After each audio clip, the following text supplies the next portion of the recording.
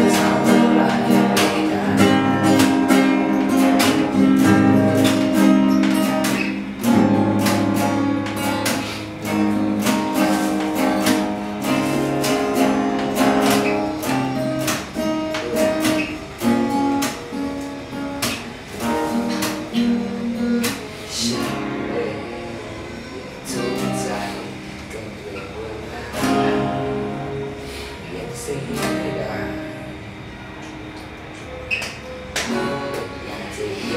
kênh Ghiền Mì Gõ Để không bỏ lỡ những video hấp dẫn